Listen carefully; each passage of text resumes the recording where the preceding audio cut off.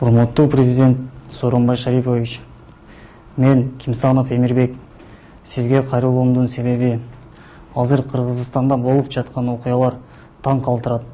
Матраимовдор кыргызстандын мыйзамын кандайдыр бир жолдор менен сатып алганбы же матраимовдорго мыйзам иштебейби кыргызстанды өзү каалагандай калчап өзү билемдикке салып каалагандай мыйзамды өзүнө жазып алган сыяктуу.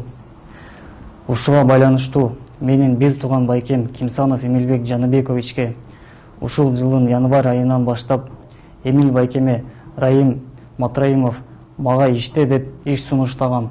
Менин байкем раимдин коррупционный иштерине аралашпайм деп баш тарткандан кийин матраимовдордун үй бүлөсү тарабынан ар кандай кысымдар коркутуулар болуп жатат.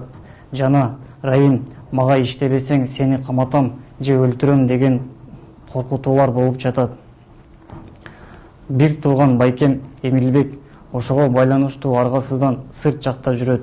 Жана ошондой эле кечээ жакынкы арада матраимовдордун үй бүлөсү тарабынан байкем эмилбектин үйүнө милиция кызматкерлери жана бандиттер жөнөтүлүп жеңемди сабап кетишкени анык болду.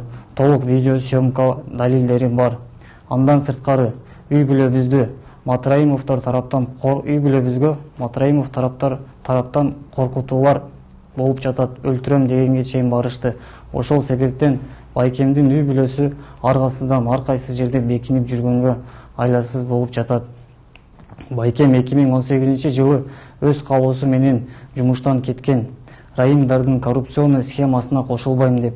Себеби байкем ар намыстуу кыргызстандын элине жерине күйгөн патриот адам жогорку билимдүү үч кызыл диплому бар өзүнүн кызматтык ишин аябай так билген жана так аткарган кызматкерлердин бири болчу.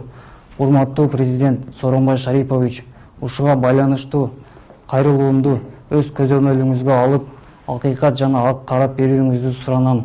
Себеби ар бир кыргыз жараны сизге ишенип сиз өздөрүнүн коопсуздугун сиздин колуңузга тапшырып сизди шайлаган ошол себептерден сизге кайрылып ушул маселени өз көзөмөлүңүзгө алып ак жана акыйкат чечип берүүңүздү суранам